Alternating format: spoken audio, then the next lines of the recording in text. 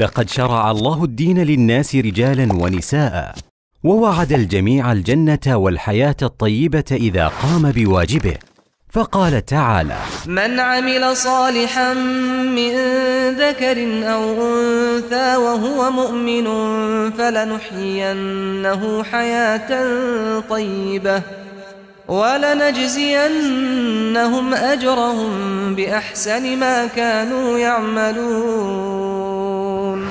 وقد جاء الإسلام فأكرم المرأة وحملها مع الرجل مسؤولية النهوض بالمجتمع وحسن الرعاية له فقال عليه الصلاة والسلام كلكم راع وكلكم مسؤول عن رعيته وقد شغلت المرأة في العهد النبوي وما بعده مكانا رفيعا بمشاركاتها العلمية والاجتماعية والتربوية وتصدر اسمها في قائمة المساهمين في بناء المجتمع وصياغة هوية الأمة والمحافظة على ثوابت الدين.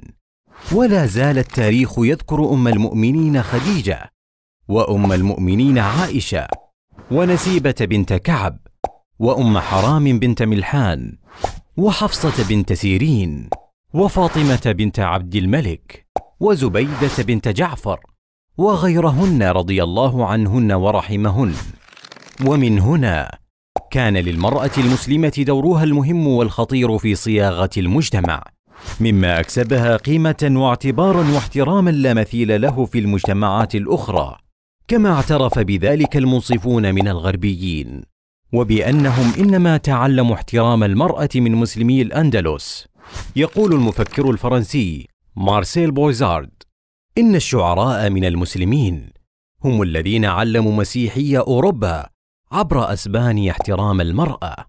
فللمرأة على ثغر الحياة الزوجية أثر خطير وفي التربية على الدين والخلق دور كبير وفي التعليم والدعوة والطب والرعاية مكانة ومسؤوليات. وقيام المرأة المسلمة بهذا وغيره له أثره الإيجابي في إصلاح المجتمع كله أسرا وأفرادا. وصدق عليه الصلاة والسلام حين قال إنما النساء شقائق الرجال.